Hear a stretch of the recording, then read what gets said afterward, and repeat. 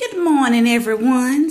I'm not calling in on the gospel channels today. However, I am going to pray because they asked me to pray yesterday uh, in church. So I'm just going to cover y'all in a couple of words. Dear Heavenly Father, Father God, we come to you once more and again. Lord, we come body, our bodies bent over and we come with our knees just bent and body bowed. Lord, we ask that you Grant us favor on today, dear God, because you woke us up in time and not in eternity. And Lord, I want to thank you. I just want to thank you.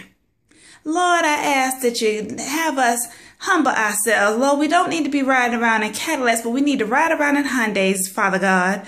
And Father God, I ask that you touch those who steal the hymnals off the pews. Some of the choir members, Lord, are taking Bibles, but they need the word, dear Lord. Let them steal them words and let it hide in their hearts like a lamp unto their feet and a light unto their path. That's what the word says. So if you're going to steal the word, live the word.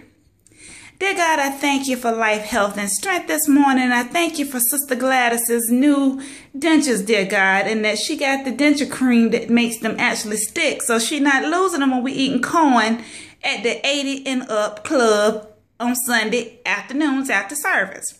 Lord, I want to thank you for Brother Cleotis' Viagra. And I also want to thank you for Brother Ernest, dear Lord.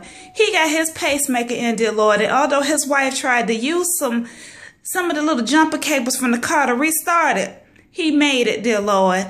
He got about third degree burns on his chest, but he's here in that nappy taco meat he had on his chest, dear God. It's now straight. So, Lord, we want to praise you, Father God, for that. God, I ask that you cover Pastor and you cover his wife and cover her when she's in the clubs on Thursday night at the burlesque um, dancing because, you know, she thinks that nobody knows that. But God, Father God, we know that you see all, you know all, and you hear all. So we will speak no evil. We will hear no evil.